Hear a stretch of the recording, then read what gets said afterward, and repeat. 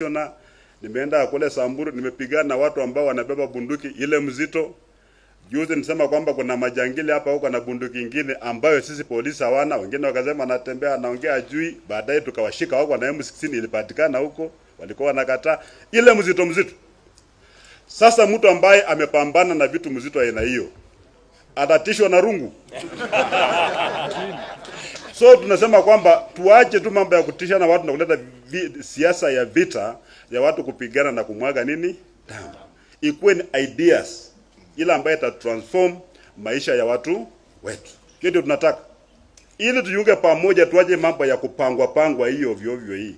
Sasa hata ile mambo yamefanyika juzi kwa chama cha ANC na Ford Kenya, nini ilifanyika huko? Nyinyi mnaelewa nini? Nimeelewa kule kweli? Watu watu wana compete, wote wanasema are presidential candidates but they are holding joint rallies.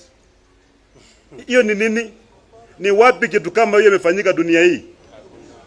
Lakini kuna mtu amepangwa pale, ameaibika, amekosa kwenda kuambia kule nyumbani kwamba amefanya nini? Amepangwa.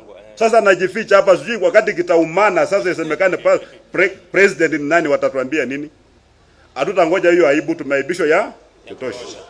Iko Wakenya wamepiga hesabu wakasema kwamba sio watu walipewa 300 million ukigawanya na population ya Western ati kila ati kila Mluya atapa, atapata ati 42 shillings ati, ati, ati ni chai moja kikombe moja na mandazi ngapi? Ati hiyo ndio value ya Mluya kweli? Hapana, hapana, hapana, hapana, hapana. Wamama wetu wamezaa watoto ambao wako tayari kuchukua hatamu ya uongozi. Watu wetu ya Western Kenya wakati wa ukombozi imefanya nini? Fika. Tumeelewana? Hatutaki kucheza na kura yetu tena. Saa hizi kila mtu ambaye anapanga kura hawa wale wale mababe wa kisiasa anapanga kwao wakijua kwamba at Western region at ni swing vote. The second largest community in Kenya. Hata by common sense itakuwaje swing vote? There's something wrong, si ndio? Yes. We want to correct that. Na mimi hii ukali yangu ambayo niko nayo mimi siwaji. Watu wanasema tupembeleza kura kidogo, sijui sema nini. Ile matatizo ambayo tuko nayo kule Western inataka ukali, si ndio? Yes. Kupigana na umaskini haitaki ushenzi yes. na kupembelezana na watu wa- wafisadi wanaiba pesa ya umma alafu tunacheka nao ndio upendwe, si ndio? Wafisadi lazima ujue watakanyaga mbao. Hii hatuwezi kukubali. Maana ile ile pesa yote ambayo inakuja kwa jamii lazima ihudumie mwananchi wa kawaida kwa kawaida ya pale nini? Ainuke, si ndio? Kwa sasa kule bei ya mbolea ni mbaya shilingi elfu sita si ndio 6000 yes. lakini tumeongea na waziri na atakuja kule kwa my homecoming tuone itakuwa namna gani lakini wale magavana wapya wa western region sisi tumesema kwamba gunia moja ya mahindi itakuwa inanunua gunia moja ya mbegu. Si ndio? Ya, mbolea, ya mbolea si ndio? One for one. Hapana uza mahindi gunia nne alafu unanunua mbolea gunia haiwezekani hiyo sio biashara bwana. Si ndio?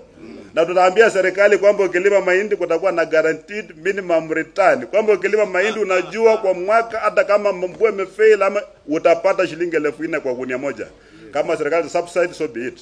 Lakini kubahatisha biashara na watu wetu kuumia hatutawahi kufanya nini? Kukubali. So safari imeanza. Na safari ni ndefu. Hatutapotea. Tuko focused. Hatutakuwa distracted.